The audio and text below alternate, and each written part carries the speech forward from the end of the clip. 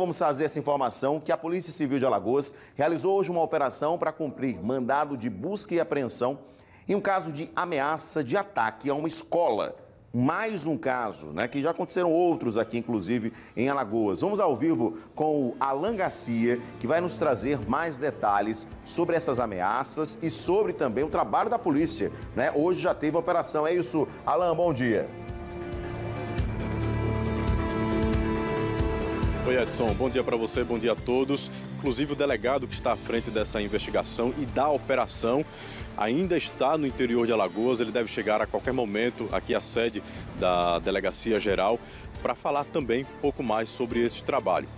A gente já veio para cá para se posicionar e trazer primeiro essa informação que foi que aconteceu? A Polícia Civil começou a investigar o setor de inteligência cibernética da Polícia Civil, começou a investigar essas ameaças que estavam aparecendo nas redes sociais, em um único perfil de um rapaz de 19 anos. Ele ameaçando os alunos, que mataria alunos dessa escola. Ele, inclusive, colocou a foto de uma sala de aula cheia de alunos e escreveu. Ele, ele colocou mais ou menos assim: gostaria de matar todos esses alunos. Ele quis dizer isso nessa frase. A polícia teve acesso a essas informações e hoje se deslocou até a cidade, né, onde possivelmente mora esse rapaz, onde fica a escola onde esses alunos estavam sendo ameaçados para cumprir esse mandado de busca e apreensão.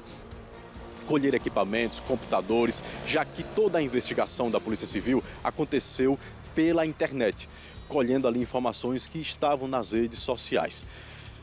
Ou seja, então a ameaça era voltada aos alunos, aos estudantes, a todas as pessoas que fazem parte dessa escola.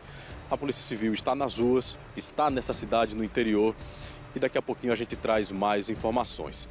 Por que, que a gente não está falando o nome da escola nem o nome da cidade? Por uma questão de segurança e também de respeito aos pais e aos estudantes para garantir que não haja aquele pânico, porque o momento não é de pânico, o momento é de tentar identificar, que já foi identificado, o suspeito, mas também de detê-lo, prendê-lo, para pelo menos ouvir as explicações dele. Será que há explicação quando uma pessoa coloca foto de uma sala de aula cheia de alunos e ainda escreve: gostaria de matar todos esses?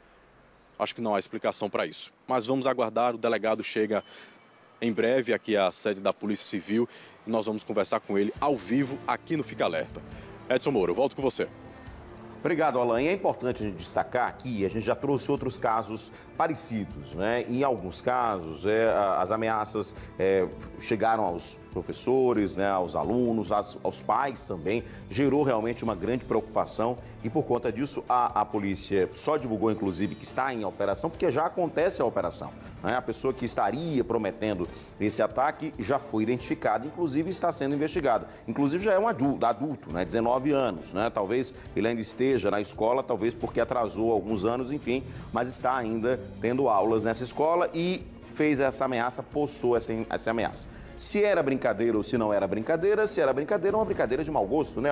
Mas é claro que a polícia precisa investigar, até para dar mais segurança aos outros alunos também, aos pais, aos profissionais, porque infelizmente alguns casos sérios já aconteceram, inclusive em outros cantos do país, né? Tragédias muito grandes por conta de situações parecidas. Então, mesmo sendo uma brincadeira de péssimo gosto, a polícia precisa investigar e é isso que está acontecendo, não é, Alan?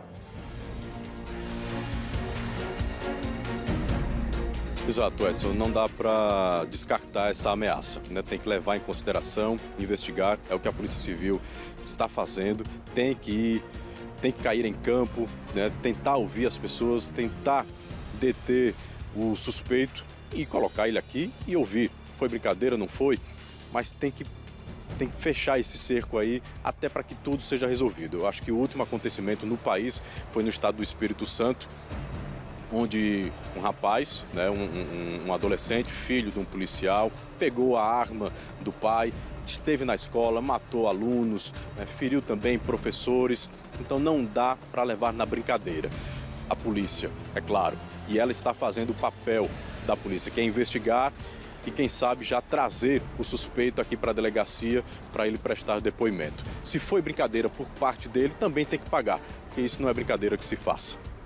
Afinal de contas, ele ameaçou sim nas redes sociais e a rede social, a internet, não é terra de ninguém. Tem que ter respeito, tem que ter cuidado com o que se diz lá dentro. É o seu perfil, mas quando você coloca a vida dos outros em jogo, não dá para brincar. Vamos aguardar o delegado. Aí a gente traz mais informações baseadas nessa investigação. Até já, Edson. Perfeito, até já. Obrigado, Alan Garcia. A gente vai voltar nesse caso também e acompanhar. E como bem falou Alan, não é porque a rede social é algo virtual que eu não tenho responsabilidades, tá? Tem, pode ser responsabilizado, sim, tá? Inclusive por crimes, porque existem crimes sim nas redes sociais.